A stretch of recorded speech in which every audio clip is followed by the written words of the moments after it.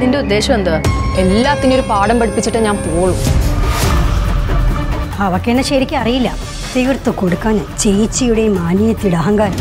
ഇനി ത്രിവേണിയും മായാവതിയും തമ്മിലുള്ള പോര്. എന്റെ ചേച്ചിക്ക് ഇഷ്ടമല്ലായിരുന്ന ഒരു കാര്യം ഈ വീട്ടിൽ നടക്കില്ല. ഇപ്പൊ അവളൊരു ഗവൺമെന്റ് ജോലിക്കാരിയാണ് നമുക്കൊന്നും ചെയ്യാൻ പറ്റില്ല.